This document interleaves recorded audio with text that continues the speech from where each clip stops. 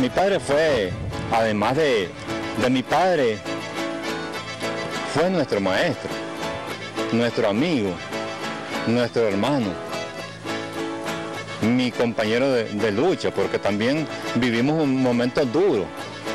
Un recuerdo que nunca se lo Mi bisabuelo este, nos ha dejado un muy grande legado, que es la música, además del baile, porque también practicamos el baile, él también bailaba. De esta manera, hijos, nietos y bisnietos del músico y compositor esteliano Felipe Urrutia Delgadillo recuerdan su trayectoria y legado en la cultura, un icono que aportó a la música con sus polcas y mazurcas y que aún son entonadas por su descendencia, lo que llena de orgullo a esta familia.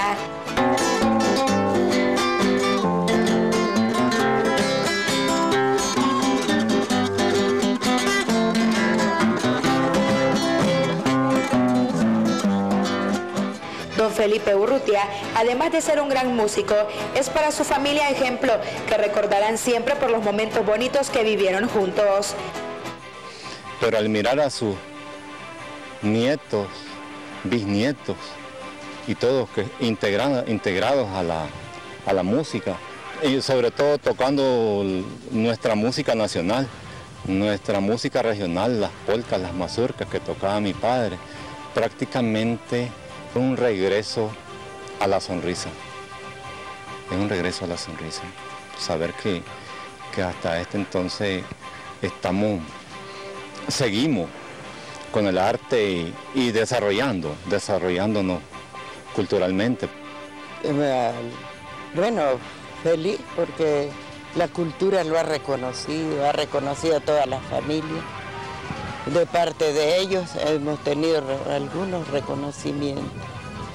Al ser bisnieta de mi abuelo, de mi bisabuelo, me siento muy orgullosa. Este, siento que fue un, un gran, un gran legado el que nos ha dejado y me siento muy orgullosa. El amor por este gran varón continúa siempre en sus generaciones, quienes este mes de febrero recuerdan aún más ese enorme don que el trovador de la Segovia se heredó.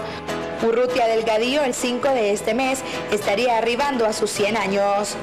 Para Noticiero Telenorte les informó Jocelyn Solís.